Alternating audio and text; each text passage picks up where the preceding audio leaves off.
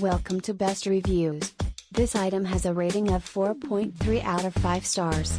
A customer wrote, Since so far I am the only reviewer who actually has an iPhone SE, the other reviewers who wrote reviews before 331 aren't real, and the one who refers to this iPhone as the iPhone 5 say is really fake.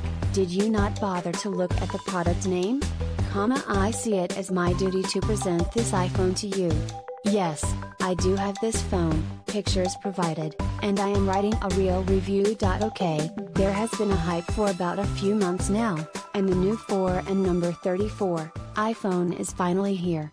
Some important points to take note of are that this phone has the exact same body as the iPhone 5 and 5s. Literally the exact same. Unlike the 6s that was slightly larger than the iPhone 6. This iPhone will fit each and every case and screen protector made for the iPhone 5 and 5s. Really the only difference is that this phone comes with matte edges instead of chrome, and the legal labels on the back are removed. The next point was that this phone is better than the iPhone 6, and much cheaper. Don't let the 4 and number 34 screen fool you. This iPhone's stats are mostly on par or better than the iPhone 6, and no, bigger screen is not better. Take the resolution. 326p, same as iPhone 6. A9 chip, better and faster than the A8 and the iPhone 6. If pictures are your thing, there is a 12 megapixel iSight camera, better than the one in the iPhone 6.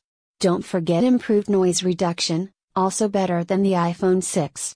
Don't forget the panorama that features up to 63 megapixels, you guessed it, better than the iPhone 6's 43 megapixels.